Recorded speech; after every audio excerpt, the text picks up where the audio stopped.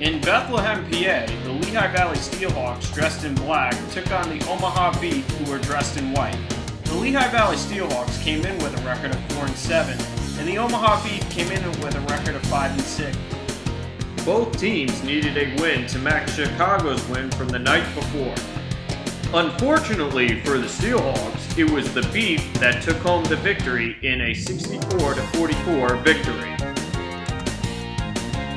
The Lehigh Valley started off strong on the defensive end of the ball, getting two interceptions on Omaha's first two drives of the game. Both teams combined for 12 touchdowns on the night, six by each team.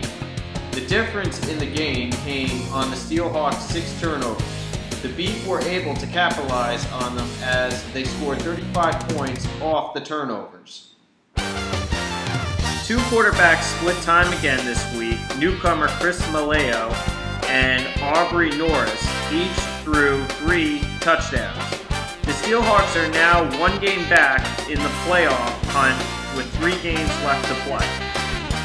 Up next for the Steelhawks is the Reading Express, who will be making the trip up 222 for the team's fourth and final matchup on the season.